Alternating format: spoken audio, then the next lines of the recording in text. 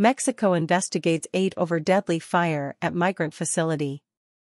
Mexican authorities said Wednesday that eight employees or officials are being investigated for possible misconduct at a migrant detention center where a fire killed 39 detained men.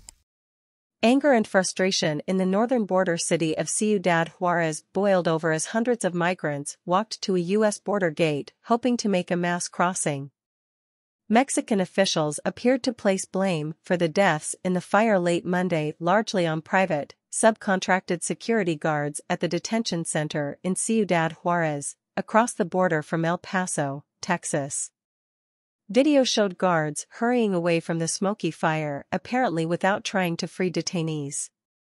No charges were announced, but authorities said they would seek at least four arrest warrants later in the day, including one for a migrant who was part of what they described as a small group that started the fire.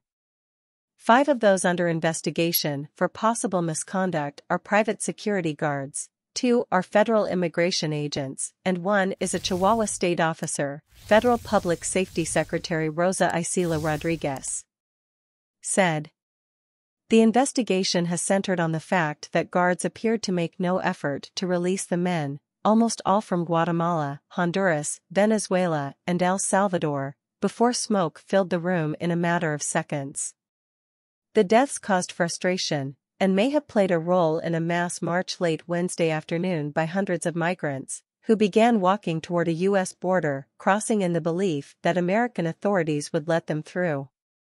Adding to anger over the deaths was pent-up frustration of migrants who have spent weeks trying to make appointments on a U.S. cell phone app to file asylum claims. Rumors spread among the migrants that they might be let in into the U.S. Jorman Colon, a 30-year-old Venezuelan migrant, walked hand-in-hand with his nine-year-old daughter, saying he had heard on social media that acquaintances had gotten through. We want to turn ourselves in, Colon said, referring to the first step in the asylum process. Several hundred of the migrants crossed the shallow Rio Grande from Mexico toward the U.S. and approached a gate in the border fence that separates El Paso and Ciudad Juarez. Armed agents stood guard at the U.S. gate entrance. Venezuelan migrant Victoria Molina, 24, complained that the app never gives us an appointment date. A group of about 50 migrants approached a border patrol vehicle and personnel and sat or kneeled on the ground.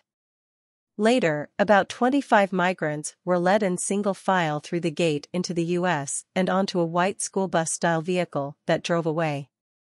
Smoke began billowing out of the migrant detention center late Monday after a group of detained migrants set fire to foam mattresses to protest what they thought were plans to move or deport them. Immigration authorities said they released 15 women when the fire broke out, but have not explained why no men were let out. President Andres Manuel Lopez Obrador said Wednesday that both immigration agents and security guards from a private contractor were present at the facility. Also Wednesday, Pope Francis offered prayers at the end of his general audience for those who died in the tragic fire. Leaked surveillance video shows migrants, reportedly fearing they were about to be moved, placing foam mattresses against the bars of their detention cell and setting them on fire. In the video, later confirmed by the government, two people dressed as guards rush into the camera frame, and at least one migrant appears by the metal gate on the other side. But the guards don't appear to make any effort to open the cell doors and instead hurry away as billowing clouds of smoke fill the structure within seconds. It was unclear if the two guards actually had the keys, but authorities suggested Wednesday that they should have gotten it or broken the lock, a highly difficult task, given the quick spread of smoke. U.S. authorities have offered to help treat some of the nearly 30 people who are hospitalized in critical or serious condition, most apparently from smoke inhalation. The migrants were stuck in Ciudad Juarez because U.S. immigration policies don't allow them to cross the border to file asylum claims. But they were rounded up because Ciudad Juarez residents were tired of migrants blocking border crossings or asking for money. There were several complaints from neighbors about a group of migrants, we don't know if it was this group or another, that was allegedly acting aggressively, asking people in the street for money, demanding it, said Rodriguez. The high level of frustration in Ciudad Juarez was already evident earlier this month when hundreds of mostly Venezuelan migrants tried to force their way across one of the international bridges to El Paso, acting on false rumors that the United States would allow them to enter the country. U.S. authorities blocked their attempts. After that, Ciudad Juarez Mayor Cruz Perez Cuellar started campaigning to inform migrants there was room in shelters and no need to beg in the streets. He urged residents not to give money to them and said authorities removed migrants' intersections where it was dangerous to beg and residents saw the activity as a nuisance. On Wednesday, the mayor told AP his office had not received any report of rights abuses of migrants in detention facilities. He insisted that his government shared no responsibility for what happened.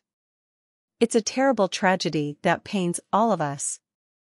We are grieving, he said, adding that authorities should come down with the full weight of the law on those responsible, the people that for instance, didn't open the doors for the migrants.